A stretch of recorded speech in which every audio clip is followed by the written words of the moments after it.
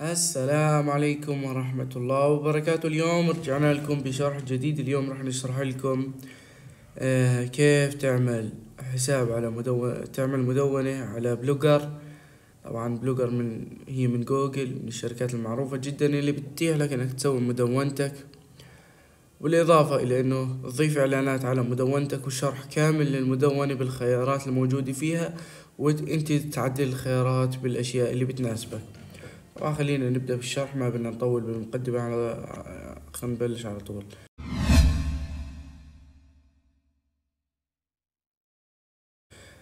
نكتب بلوجر.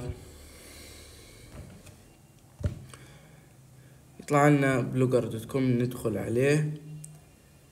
نحط create your blog. طبعا بعد ما سجلنا بحساب جوجل يطلع لنا هاي اللائحة بتحط عنوان للمدونة تاعيتك العنوان اللي بدك إياه.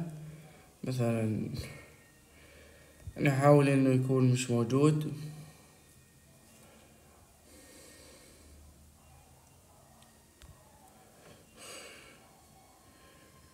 حط التالي. بدك تختار طبعا عنوان يو إر إل برضو نفس الكلام. بدك تحط عنوان يعني حاول يكون عنوان سهل وما فيهوش آه، أرقام كثير. عشان يسهل وجودك. يعني يسهل الناس آه،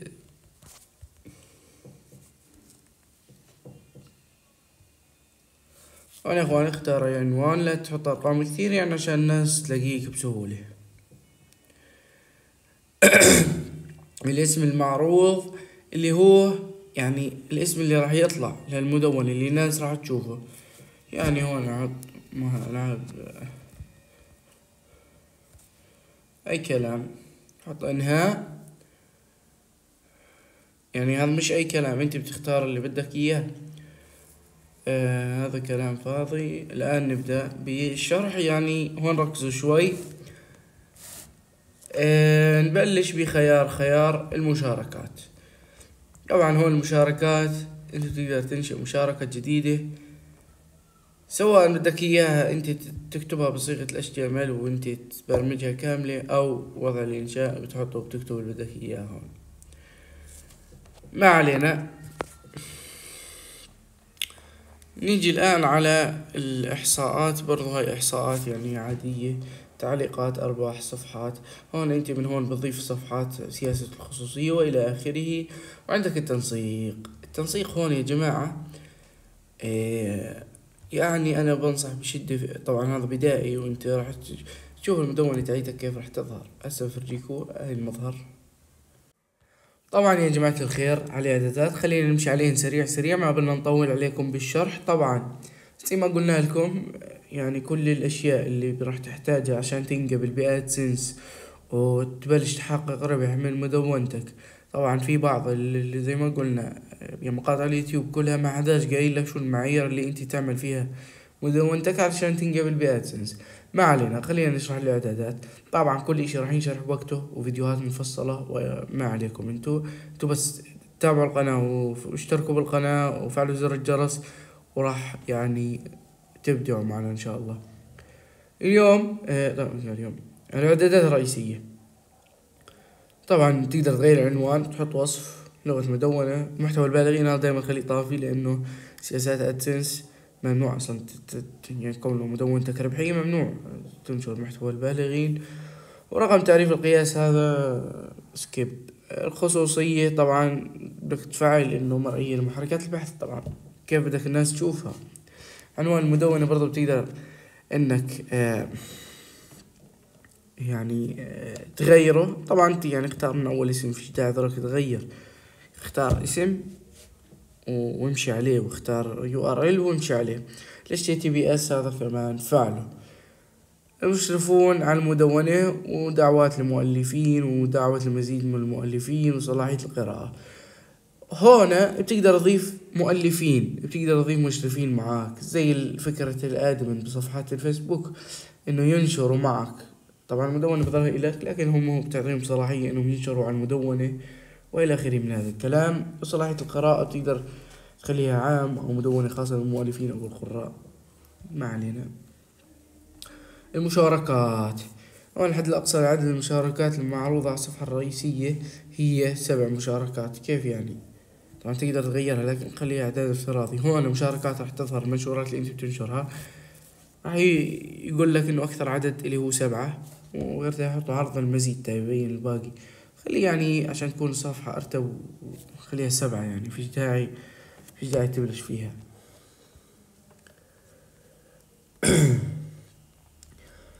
نموذج المشاركة والعرض المبسط للصورة هذا الصور هذا كله سكيب ما في فايدة منه لحد الآن. طبعا لما لما يصير وقتين يعني كله راح ينشرح هذا بس أنت حاليا هذا الحكي ما بفيدك أنا بقول لك عن الخلاصة اللي أنت بتحتاجها. موقع التعليقات هو من يمكنه التعليق والإشراف على التعليقات. طبعا التعليقات هون دائما خلي إشرافك دائما لأنه في ناس تدخل تسب يعني هو الخيار يعني الناس تدفع من يمكنه التعليق. يعني بفضل إنك تحط أي شخص عادي حتى لو إنه مش حاط حسابه جوجل. موقع التعليقات مضمن يعني إنه تحت الصفحة. بريد إلكتروني هنا من الخيارات هاي بتقدر إنك تنشر عن طريق البريد الإلكتروني أو ترد على التعليقات عن طريق البريد الإلكتروني. يعني صراحة مش شايف إنه موضوع يعني كثير قوي. التنسيق. التنسيق هنا ما في إشي مفضل. تختار المنطقة الزمنية تاعيتك حسب المكان اللي أنت بدك إياه أو المكان اللي أنت بتستهدفه. تنسيق عنوان الصفحة يعني تختار كيف بظهر التاريخ إنه يوم لحاله أو بالشكل هذا وبالشكل هذا. ما في إشي مفضل كله نفس الإشي. تنسيق طابع الزمن نفس الإشي تنسيق طابع الزمن للتعليق كمان نفس الإشي. العلامات الوصفية. العلامات الوصفية اللي هي بتظهر تحت العنوان مية وخمسين حرف. مثلا لما أكتب مدونة. مدونة أي كلام مدونة شايفين هذا شوية أحرف اللي طالع تحت هاي. هاي هي ال آه، الخيار هذا. فأنت يعني تشرح بمية وخمسين حرف شو هي مدونتك اللي بحيث إنك تجذب الناس بتبحث عن موضوع معين. الأخطاء مع أخطاء انسى إيه هنا هنا ملفات ال XML وإنك كيف تربطه ب Google Console طبعا هذا راح ننزل له فيديو دقيقتين. ما عليكم. أنا أنا بحب اقسم لكم الموضوع عشان ما تحضروا فيديو خمسين دقيقة ولا أربعين دقيقة. آه، فيديو دقيقتين راح نحل لكم موضوع هذا الشغلة هاي. طبعا شغلة مهمة يعني بحيث تضيف ملفات ال sitemap وال XML.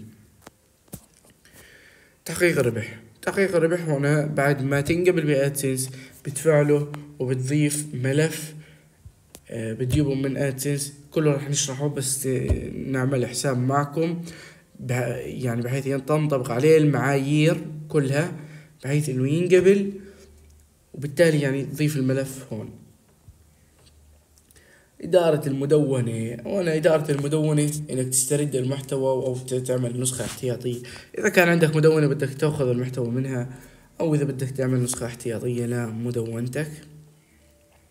خلاصة الموقع هذا كلام فاضي سكيب وإعدادات عامة هون الملف الشخصي. الملف الشخصي تاعك هذا بكون هون. الإعدادات تاعيته غير الصورة والاسم وإلى آخره وضيف أشياء يعني هي تعديل الملف. ضيف عنوان. بريد إلكتروني صورة يعني أشياء كلام. يعني زي ما بدك تضيف ضيف وهنا بنكون وصلنا لنهاية المقطع. آه طبعا زي ما قلنا لكم هذا الشرح سطحي جدا. آه بتمنى تكونوا استفدتوا. لا تهجموا علينا بالتعليقات هسه تقولوا إنه انت مش شارح هذا الكلام هذا شرح سطحي بس نفرجيكم الخيارات. آه يعني شرح بلوجر يعني بده كتير. بقدرش انزله كله على مقطع كامل. فتابعونا أنتم واشتركوا بالقناة علشان نقول لكم عن المعايير اللي راح تنقبل فيها مدونة راح نعمل معكم مدونة وتنقبل ب AdSense ونضيف الإعلانات ونضيفها على Google Search Console. لأني شفت مقاطع كثير على اليوتيوب ما بقول لك كيف إنه آه، يعني تنقبل في AdSense تقعد الناس أسبوعين وثلاثة وأربعة وآخر شي ببطل الشغل هذا كله أتمنى أنكم تشتركوا بالقناة وتفعلوا زر الجرس يعطيكم ألف عافية.